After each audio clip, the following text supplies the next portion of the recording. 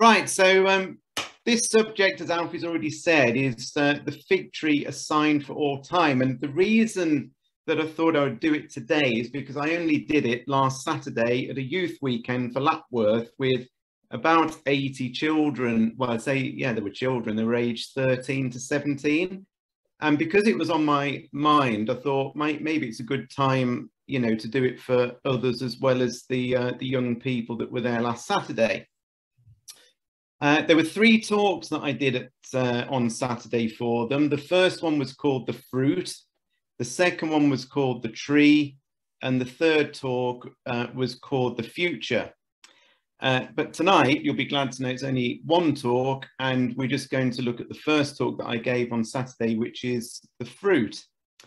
And I thought I'd just start off by saying how this talk actually came about to start with because well i just found, found it a little bit interesting. But um, what happened was last november uh, we were down in cornwall. It was my birthday on the day that we got down there and it happened to be the day that i caught covid. So we'd only been there what 24 hours hadn't we? And then we had to head all the way back up from cornwall back here with the windows wide open so angie didn't catch it and then, of course, uh, Angie ensured that I was in quarantine then for like days and days and days uh, with the door shut. I'm in the spare room upstairs.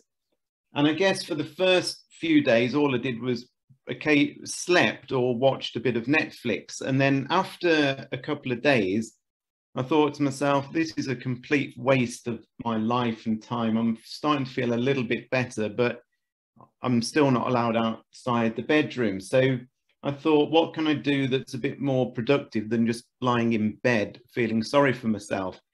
And for some reason, I thought I would maybe look at the Bible and maybe I don't often get time just to stop and think. So I started praying to God because I didn't know what to, to do it on. And I was sleeping and praying and thinking and getting my computer out. And in, in the end, I thought, I know, I'm going to look at the parable of the fig tree that Jesus told in Luke. And then I was just about to start looking at that parable when I thought to myself, well, I remember hearing a long time ago that the best way of studying any subject is to go back to the first time that something's mentioned. And so I went back to looking at figs and fig trees right the way through the Bible and ended up, of course, in, in Genesis.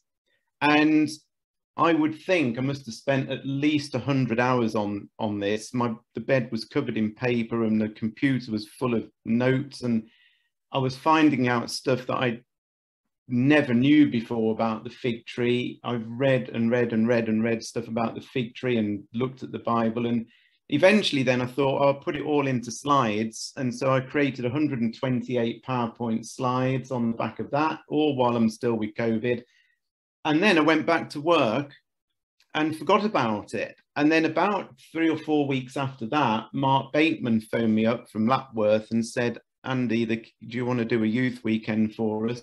Because your name's come up. And I said, yeah. And I thought, oh, I said, I've got four different subjects, take your pick. And I wondered if you'd pick the fig tree. And lo and behold, that's the one they picked. So I thought, well, you know that's good. We'll give it its first outing at the uh, at the youth weekend which i did on saturday. So that's the sort of history as to why this why i put it together really. And i suppose the the lesson from my point of view is that out of very horrible um, times because uh, i didn't covid was pretty nasty for for myself. I know others have had it a lot worse than i had it. You know good things can come out of it because i'm telling you this now if I didn't have had, if I hadn't have had COVID, I would never ever have done this talk, or at least I can't think I would have done it because I wouldn't have had the time. So with that little bit of background, uh, let's open the curtains and let's crack on with this talk, which is all about the fruit.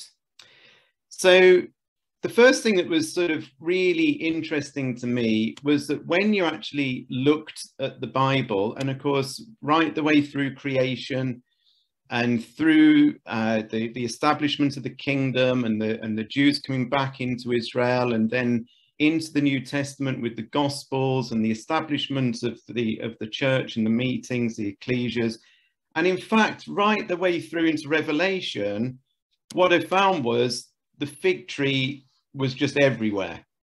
And those are all the books in the Bible where figs and fig trees uh, are mentioned Genesis, Deuteronomy, Judges, Psalms, Kings, Proverbs, Song of Solomon, Isaiah, Jeremiah, Hosea, Amos, Micah, Nahum, Habakkuk, Haggai, Zechariah, Matthew, Mark, Luke, John, James, and Revelation.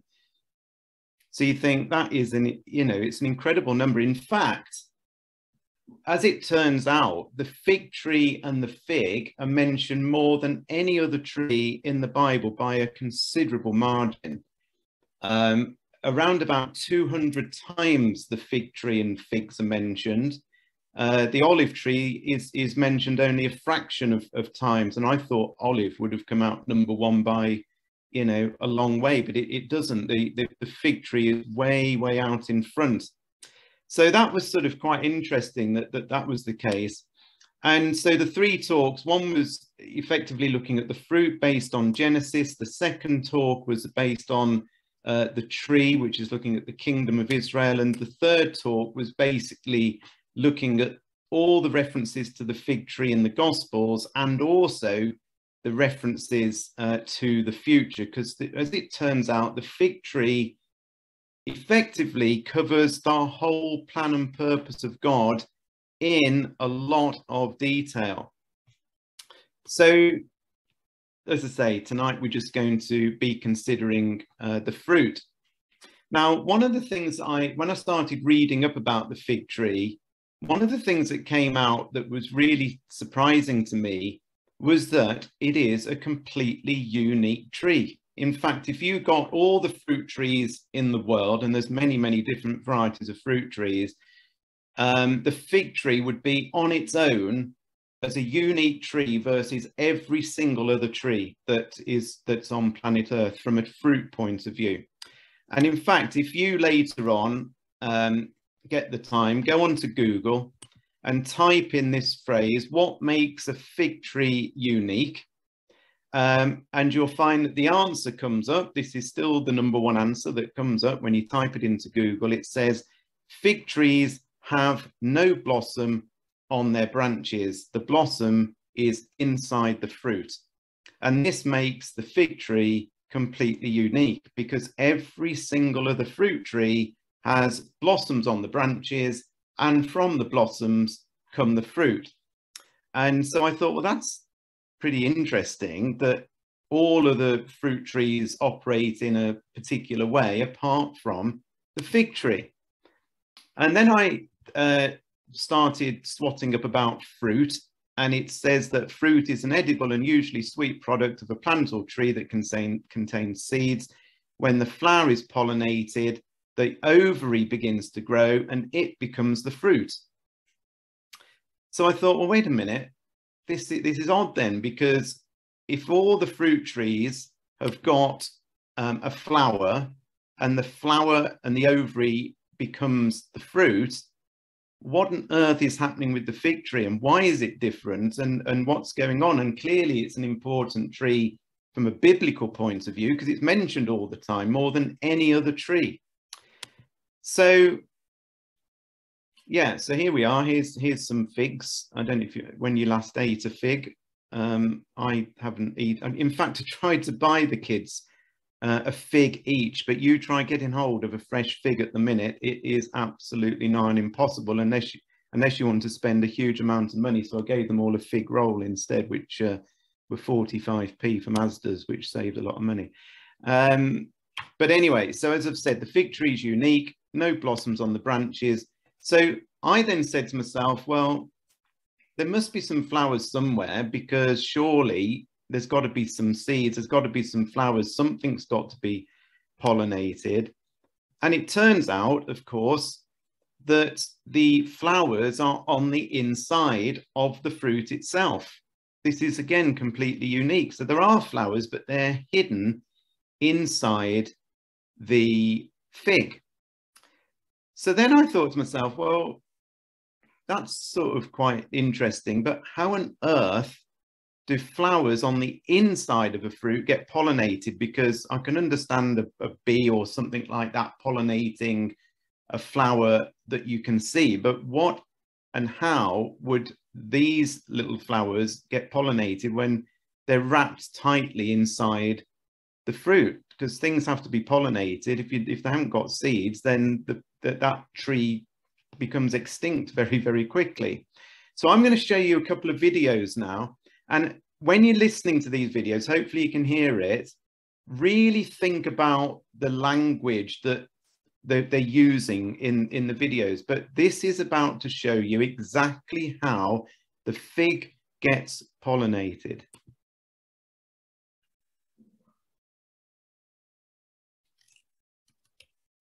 Now, why isn't that playing? Uh, yeah. Sorry about this.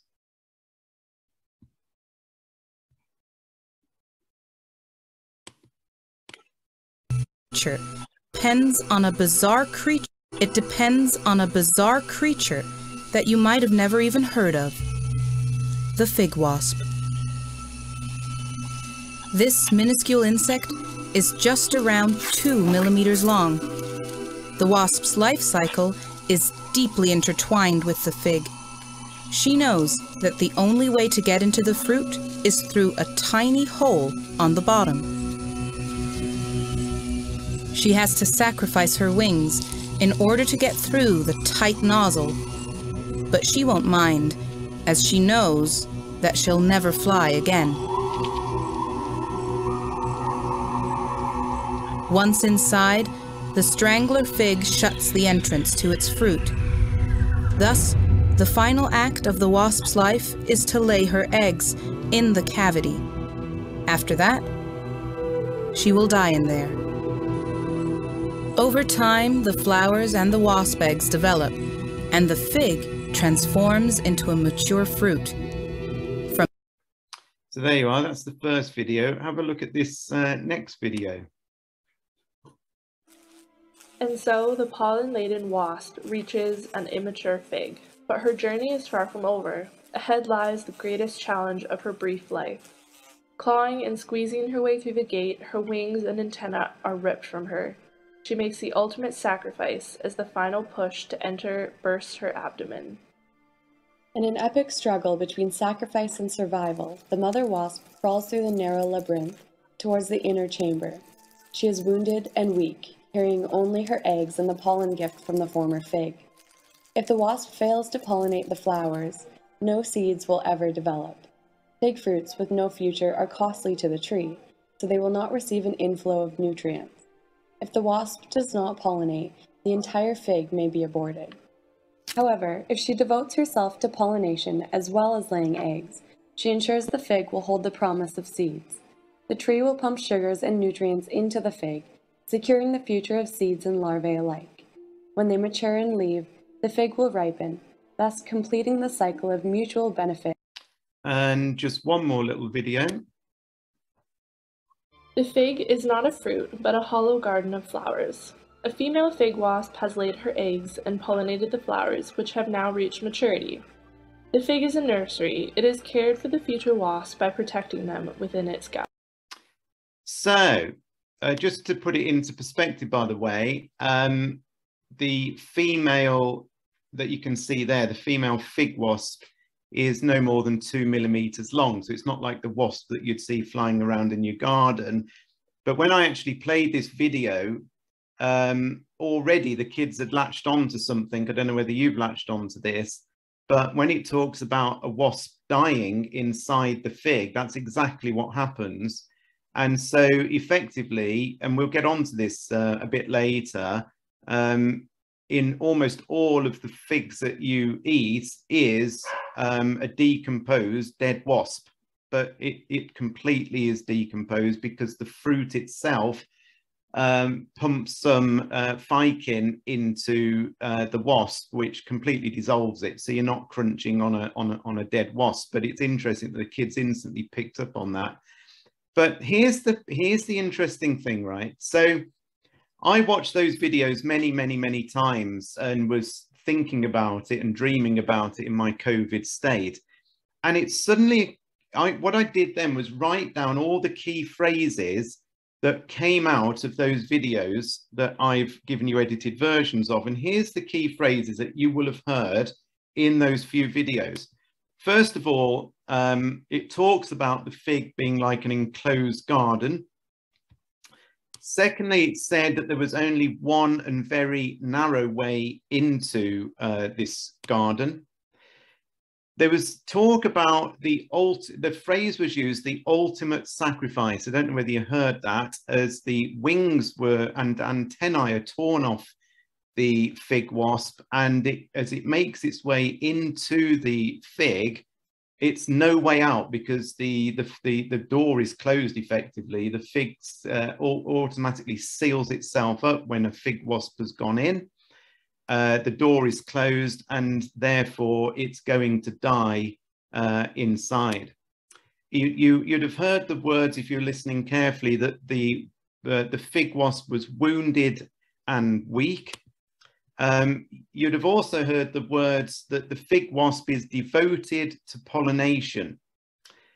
You would have also heard these words as well, uh, the promise of seeds. So basically, the fig wasp is all about providing the promise of future seed. And the last thing that you'll have heard is that the future of the fig is secured. I've put of the fig in brackets there, but the future is secured or the future of the fig is secured because of the work of this tiny minuscule little fig wasp. So I was like staring at these uh, things, thinking to myself, this is these are quite amazing little phrases that none of these are, by the way, anything to do with Christian videos nothing whatsoever. They're just fig wasp videos that on all sorts of different um, channels.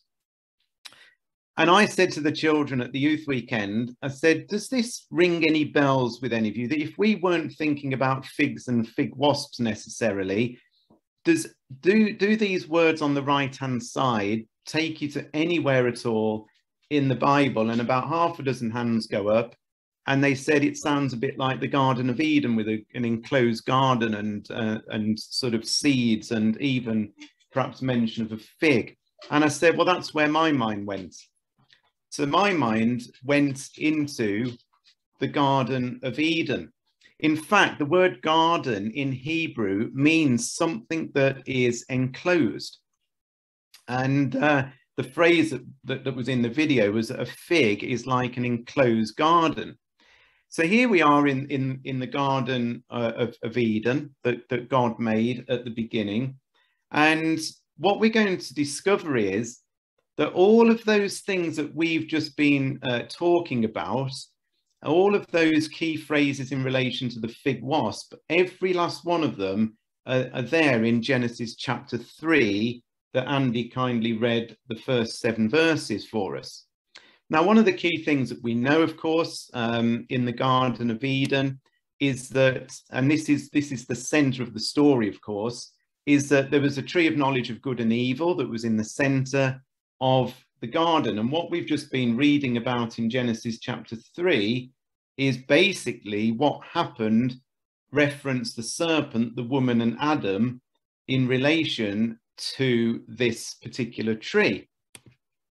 So what we um, have read, and I'll just read these words again. I know we we know them so so well, but in Genesis chapter three, verses one to five, bearing in mind we're in an enclosed garden at, at this point, and we're looking for those other key phrases. It says, "Now the serpent was more subtle than any beast of the field which the Lord God had made, and he said unto the woman." Yea, hath God said, You shall not eat of every tree of the garden? And the woman said unto the serpent, We may eat of the fruit of the trees of the garden, but of the fruit of the tree which is in the midst of the garden, God hath said, You shall not eat of it, neither shall you touch it, lest you die. And the serpent said unto the woman, You shall not surely die. For God knows that in the day you eat of it, then your eyes shall be opened, and you will be as gods, knowing good and evil. So here we've got this, uh, we've got the woman uh, being deceived by the serpent because the serpent said, You shall not surely die. And we know that that was a, an absolute lie. Uh, by the way, of course, half of it was true and half of it was lies because their eyes were opened and they did understand good and evil at that point. But of course, the lie part was that you you you won't die. Now, of course, at that very point in time, it says that both of them uh, realized that they were naked. It says the eyes of both of them were open. They knew that they were naked. And here we've now got a reference to fig leaves because it says they sewed fig leaves together of all trees um, and made themselves aprons. So we've even got sort of a, a reference here to, to figs. But the other bit that we read about, which we haven't read uh, just now, of course, is the really key verse, um, probably at this point in the Bible, I would suggest, which is Genesis 3.15. And here now we've also got mention of seeds. Do you remember one of the quotes from the video? Still there, that's the question. Right, okay. Give me a moment. I will get the show back on the road. Are you all coping with this? Right, hold on a minute. Right. Bear with me. Yeah, the internet just literally just switched itself completely off. Right. Alfie, can you see that? Andy, can you see that? Give me a thumbs up. We're back on. Okay, right. So sorry about that little interlude. Uh, I'll see if I can um, still, uh, I don't know if it's still recording or what it's doing. I think it's still recording. Okay, so sorry about that. So I'll try and get my brain back into gear as to where we are. So yeah, so I was saying that God is talking to the serpent. I will put enmity, hatred between you uh, Mr. Serpent and the woman who's even between uh, your seed or your descendants, uh, Mr. Serpent, and the woman's seed or her descendants. It or he shall bruise thy head. Um, so, in other words, the descendant of the woman is going to bruise the head of the serpent, and you uh, or the descendant of the serpent is going to bruise his heel. So we've talked a lot about this verse in the past. We know what it actually means. So just putting it on the blackboard here, we know, of course, that the serpent was the really the original cause of sin and became symbolic of sin itself throughout the throughout the scriptures because it was the serpent that put the de- uh, the deceptive thought into Eve's mind. He was ten- he was testing Eve and tempting Eve and making her think things that were different to what God had said. And uh, again, what we said with the children was look, are we expecting the seed of the serpent to be literal baby serpents in the future? And they said, no, we don't think that's what we're looking for. And I said, no, we're not. What we're looking for isn't little baby future serpents that are going to cause a problem. What we're looking for are future sins causing um, a problem down, down the line. So the seed of the serpent is really code for future sins, you might say um, human nature. Um, in terms of the woman, well, we know who the woman was, it, it's Eve. And in terms of the seed of the woman, a descendant of the woman, um, we're clearly being told there's going to be a future son that was going to come along. And what God's saying is that there's going to be friction or enmity between the future sins that come along and this future son. In other words, it's almost like a battle that goes on between a future son and uh, future sins or human nature. And what God is telling us almost in, in symbolic code form in, the, in Genesis 3.15 is that the future son of Eve is going to fatally wound or bruise the head of the serpent, which is sin. So there's there is some sort of um, fight, if you if you want to call it that, going on between a future son of Eve and and and what we obviously understand is that if you if you whack somebody on the head to cause a bruise then that can be fatal. Um, and in fact sin we're told is going to bruise the future son's heel. In other words uh, sin in a, in a sense is going to cause some pain to this future son of Eve. Um, and what we're going to find out, of course, and as we know, this is the temporary pain of sacrifice. So remember talking about the fig wasp, going back to that, that, we, you know, we were saying that there's some key things that we're looking for here. The promise of seeds, we're looking for uh, sacrifice, wounding, all of those things were happening inside the fig. And we've got very similar themes here in Genesis 3.15. Now, what I found was a really, I think this is a brilliant image. I don't know what you think to this, that sums up Genesis 3.15 really, really well. Because as you can see there on the left, you've got the legs of Jesus Christ on the cross with the, uh, the nail that's going through his feet. But of course, it's the nail also is going through the snake. Now, we know there wasn't a snake when Jesus was uh, crucified. It's a symbolic thing, but you notice that the way they're depicting this is that the nail's gone through his feet and has gone through the head of the serpent. And I think this is a really good way of understanding Genesis 3.15. In fact, uh, all the evidence from crucifixion is that the nail would have come out through the back of the heel of the Lord Jesus Christ. And actually, there's a whole talk I listened to on this about how it would have burst apart the Achilles heel, uh, the tendon at the back of your heel, which is one of the most very painful things that the body can endure, is the, is the complete rupturing and tearing of that. Um, so really, when God said that sin would bruise uh, the heel of the Lord Jesus Christ, if, if effectively that's exactly what happened because because Jesus had human nature, he did have to die. Um, and therefore sin did cause him that that um, literally that that terrible pain. However, I said to the children, you know, how was it that Jesus defeated sin just by dying? Because how does that defeat sin by dying? And they correctly said, well, it's because he overcame sin. He he didn't let sin win. And I said, sin only wins if we if we sort of um, you know let's sin only wins if we let the temptation overcome us and jesus didn't once let the temptation overcome him. And that's how he defeated sin. He didn't give in to it. Um that's right. Sin only wins if we give in to sin. That's what i said.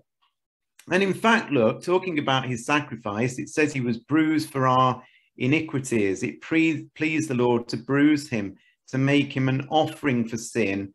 And um, because of that, he will see his seed in Isaiah 53, verse 5 and verse 10. So again, it seemed to me that in Genesis 3, we've got all these sort of references to wounding, to bruising, uh, to sacrifice, all sort of there pretty clearly in Genesis 3 15 and in the whole chapter effectively.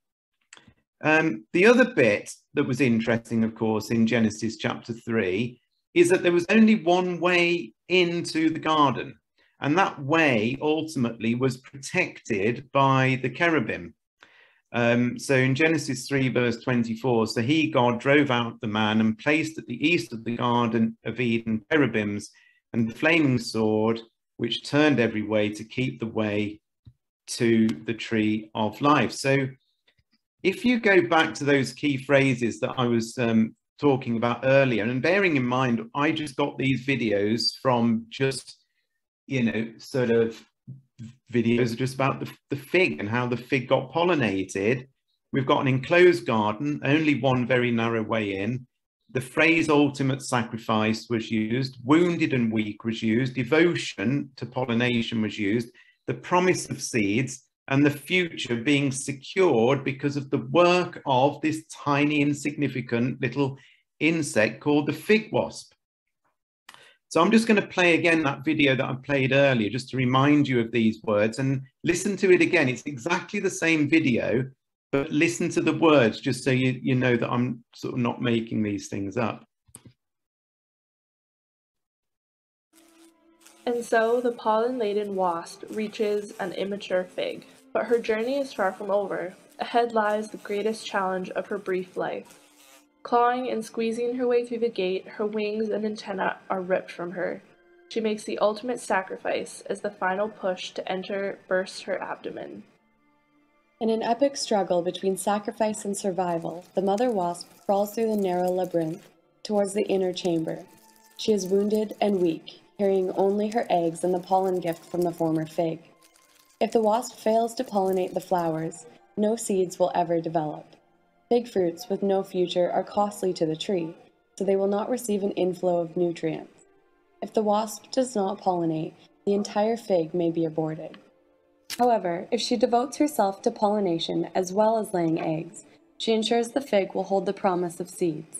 The tree will pump sugars and nutrients into the fig, securing the future of seeds and larvae alike.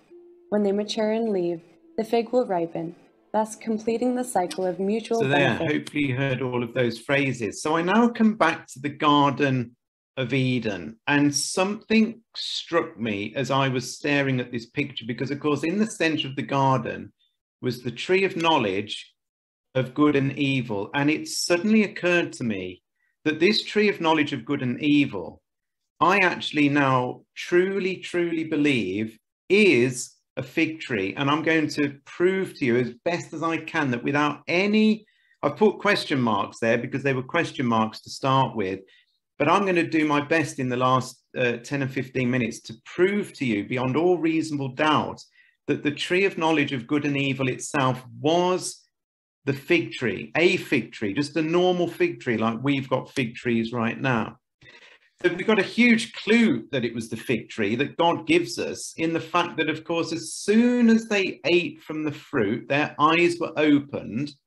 And God doesn't say, by the way, that they, they, they went and found the fig tree and took its leaves, you notice. It just says that they sewed fig leaves.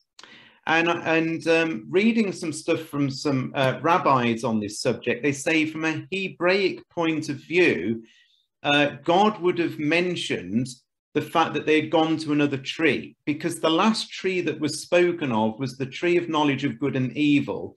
And the way Hebrew works is that you wouldn't then necessarily just say they've taken fig leaves without it automatically as potentially associating itself back to the tree that had just previously been mentioned. The way Hebrew would normally work, and even in our language, you would say there's the tree of knowledge of good and evil and they went and found a fig tree and and and took the leaves thereof or something like that. But it doesn't do that. And it's almost a clue therefore. I mean you imagine right? Adam and eve have just eaten of uh, the fruit and they saw they were naked. Do we honestly imagine that they're then going to start walking around as ashamed as they are looking for a tree to cover themselves with leaves? And the answer is, well, they wouldn't. In fact, the leaves of the fig tree are very rough and very coarse, and they're probably the last leaves that you would normally pick to rub against your skin. They're very unpleasant to the touch. And it's far more likely, therefore, that the very first thing that they did was grab the leaves that were right next to them. And I don't think there were lots of other trees very close by. I think that the, the, you know the tree of life and the tree of knowledge of good and evil, which were in the centre of the garden, would have been distinguishable and not just in like a forest and and and so on, sort of packed together with other trees. So it's it's almost unbelievable to think that they wandered around the garden to try and find some very rough, coarse leaves to try and stitch together. It seems much more likely that they did do exactly that. Now, supposing, therefore, the fig tree is the tree of knowledge of good and evil, suddenly this makes this whole wasp situation pretty astounding. Because if the fig was the forbidden fruit, effectively, then they both ate from it, didn't they? They both ate of the, the, the fig. That means, of course, they were eating a fruit that had got every single part of symbology for salvation built into it. Jesus, as we know, is the one and only way that we can be saved. Jesus was wounded terribly just like the fig wasp was wounded. Jesus offered himself as a sacrifice, just as the fig wasp offers itself as a sacrifice. Jesus devoted himself uh, to God, just as the fig wasp, we're told, is devoted to this one cause. They don't live another life, you know. The fig wasp doesn't have a, a lovely time uh, flying around. It just goes straight and does this one sole purpose. Jesus um, created, uh, of course, future seeds. He guaranteed future seeds by his work. And Jesus, thereby, through his work, just as the fig wasp guaranteed the future of the fruit, so Jesus has guaranteed us a, a future life as well. And what was blowing my mind as I was doing this was thinking the very thing that God had got as a test for them had got the solution to their problem if they failed. I mean, how amazing is that? the very symbolic solution for them if they failed the test, which God, of course, knew they would, was actually planned in the very fruit that they were eating.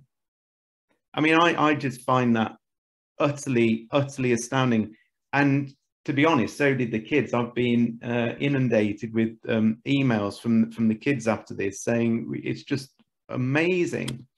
Now, here's another thing, because I then started thinking, if this is true, surely there's going to be some references in the Bible to it. And look at this, right? So I'm saying to you, the tree of knowledge of good and evil is a fig tree. And lo and behold, in Jeremiah chapter 24, verses 2 and 3, which are words that we know well, it says, talking about figs, that one basket had very good figs, even like figs that are first ripe, and the other basket had very naughty figs.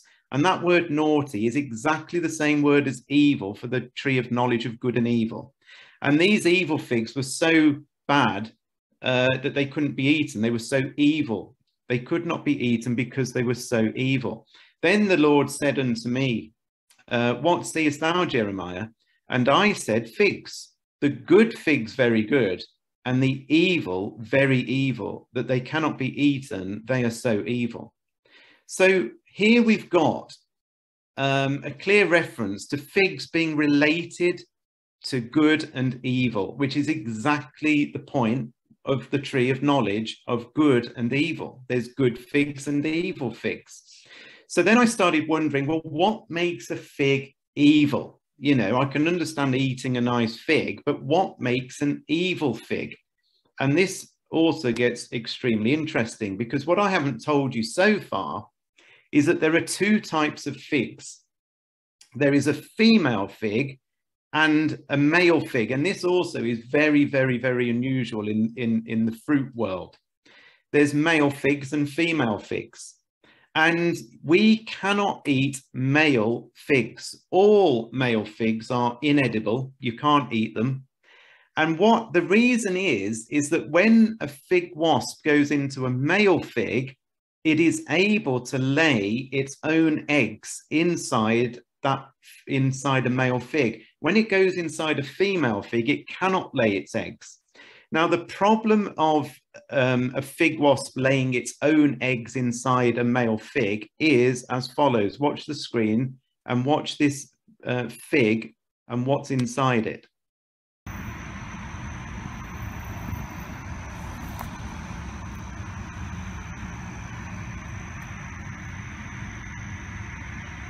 See that? you ain't going to want to eat that. I don't mind eating one dissolved fig, uh, uh, fig but I don't want to eat that.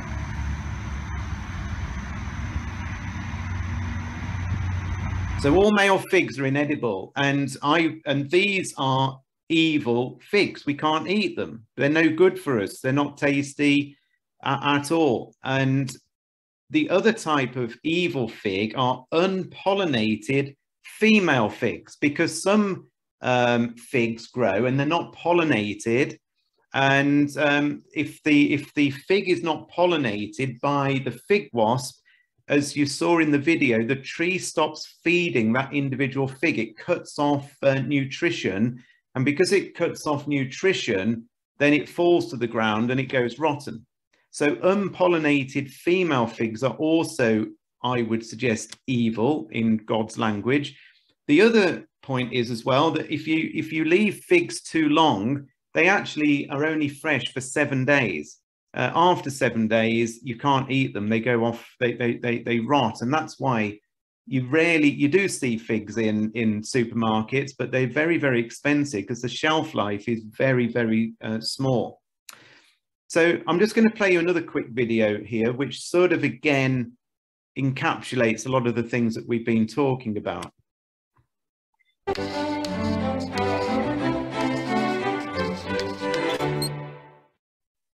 Hi, I'm Lauren, and this is BrainStuff.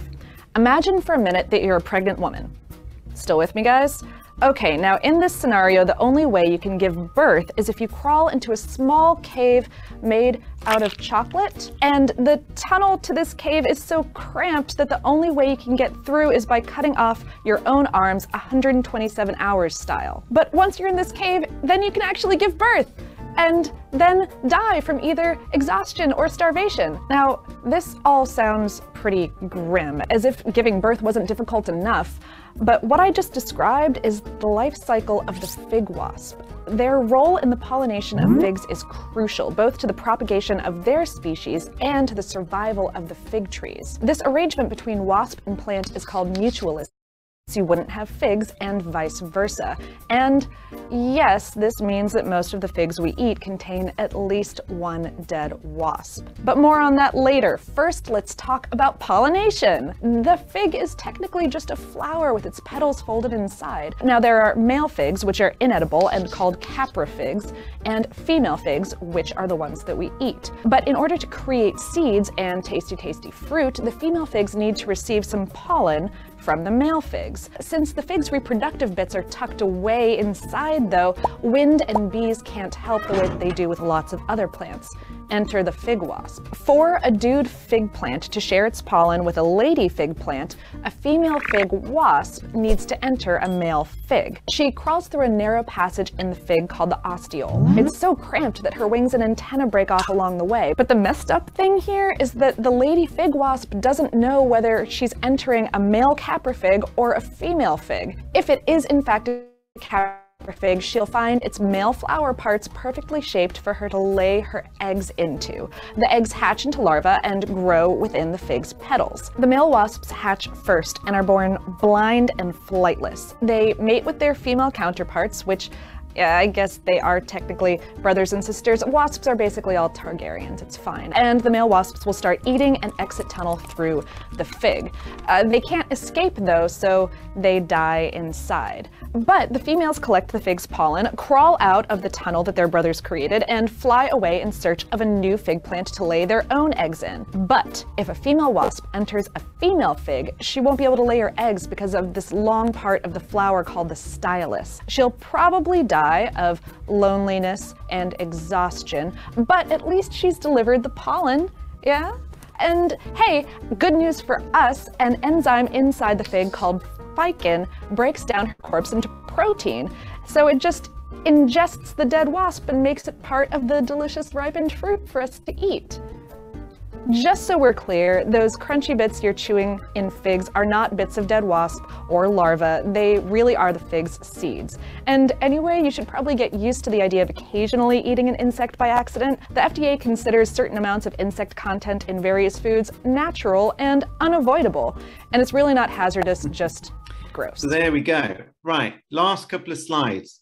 So imagine the tree of knowledge of good and evil is a fig tree, uh, is a fig tree, and on that fig tree there are female figs which are good, and there are male figs that are evil, right? And I've depicted them there as green and black. Hopefully you can see that. And the point is that it's only the female ones that are the ones that are good. They're the ones that you can finally eat and are good for you, right? Now, what we're saying therefore is that the fig wasp is going to go in to a female fig so that we are then able to eat it because it's pollinated it. And the other point, therefore, is that if Jesus is symbolic of the fig wasp going into the good fruit, I said to the children at the youth weekend, why is it that it's a female fig that's good and uh, a male fig that is bad? And amazingly, between them all, they worked out the answer. And the answer is quite simply that if you think about it, Jesus is coming as the bridegroom to marry the bride, and therefore we are symbolic of females. All of us are symbolic of females because we're symbolic of the bride, and it's only the female fruit that was good on this tree. And of course, as we've already said, there can be fruit on the tree that is female, but is never pollinated by the fig wasp and those fruit lose the nutrients and drop to the ground. So some female figs also become uh, evil because they haven't let Christ effectively into their lives. It's only the sacrifice of Jesus into our lives that turns us into a fruit that is edible and a fruit that is good to eat. Now, the last couple of points I just wanted to make was this, because what your mind, I know, is saying is well surely to goodness it can't be the fig because it says that when the woman saw that the tree was good for food and was pleasant to the eyes and a tree to be desired and is the fig tree any of those things you know if i look at that fig um, well good for food surely means something that is bountiful with lots and lots and lots and lots of uh, food and surely there are other fruit varieties out there that look much better for food.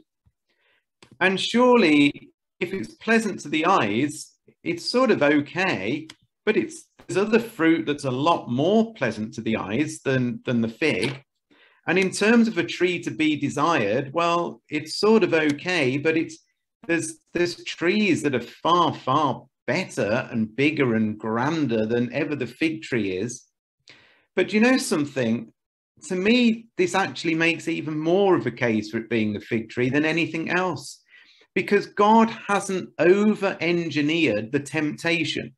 He hasn't made something in the center of the garden with fruit almost to die for, something that was spectacularly different and, and better than all the other fruit, and a tree that was bigger and grander and um, and, and all the rest of it. God almost downplayed the tree in the middle of the garden.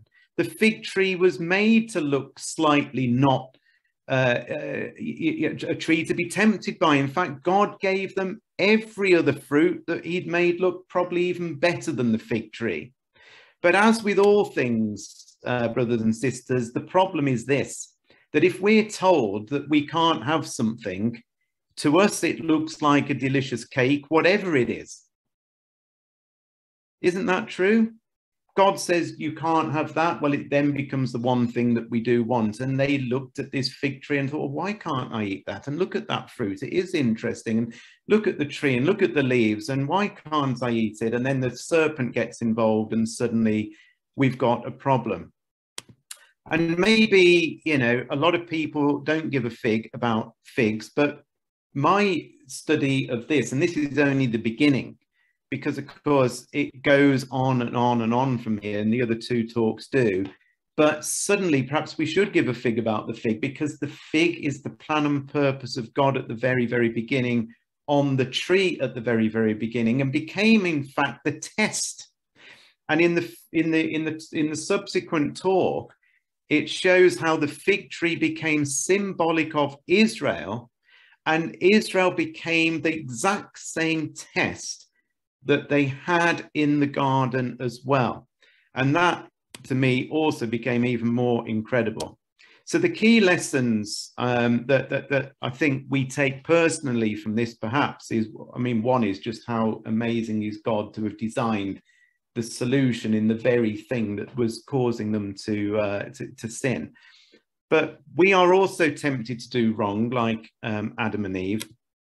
And we um, succumb to sin when we do the wrong thing and um, deserve death because of it, exactly like Adam and Eve.